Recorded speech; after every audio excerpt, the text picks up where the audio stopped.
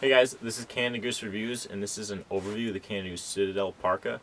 If you're interested in a review of this coat, I've also made a video in which I describe some features, some things of the jacket I've liked and maybe haven't liked as much.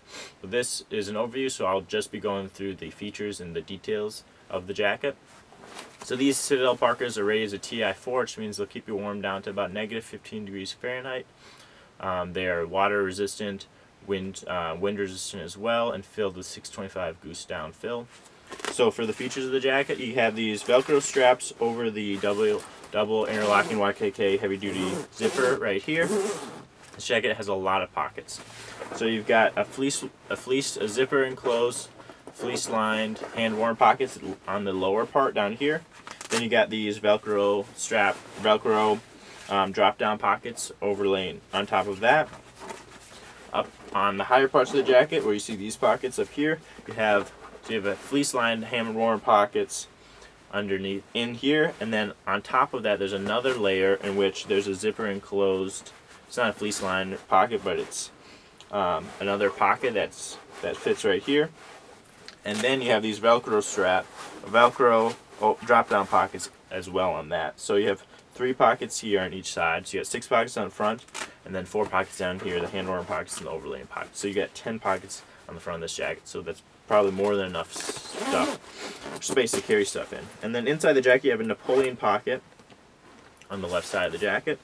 You have a drop down pocket as well on the left side. You have these elastic pull tabs that will tighten the jacket closer to your waist. and that's mostly to it can give it a sleeker look and it also keeps the wind from seeping up into your core. Um, yeah, on the cuffs you have these two layer cuff systems. You have the heavy duty rib cuff here, and then the shell over the lane that.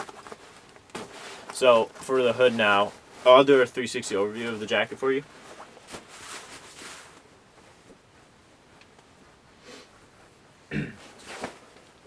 so for the hood, you have they have the fur trim on this jacket. You have the option of removing it if you need to.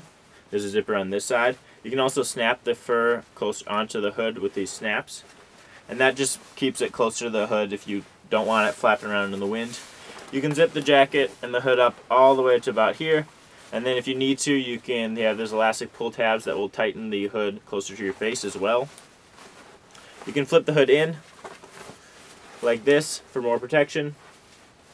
There's a wireframe hood or wireframe on the fur, so it gives you some um, ability to mold it and shape it how you feel it best fits you, fits your face and keeps your head warm. And then you have this thick fleece lined chin guard right here, and this is nice because when you zip the jacket up, you're gonna your chin and your face, if you have facial hair, will rub against the coat, and it's nice to have something soft there that just prevents it from being irritating and gives you it can provide a little bit of extra warmth too. Um, and then the left arm, you have these two pen pockets right here. Um, let's see. And then on the back of the jacket, you have this strap here, and that's for hanging the coat up or carrying the coat. And those are most of the features of the Canada Goose Citadel Parka. If you felt I missed anything, throw in the comment section below. Make sure to subscribe because I'm going to be doing lots of overviews, reviews, comparison videos of all things Canada Goose. Um, thanks for watching, guys, and have a great day.